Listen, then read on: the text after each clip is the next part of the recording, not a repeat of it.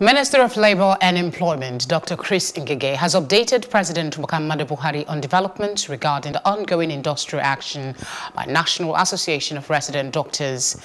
Dr. Ngige was accompanied by the Minister of State, Labour and Employment, Festus Keyamo, as well as the Health Minister, Dr. Osagie Ehanire.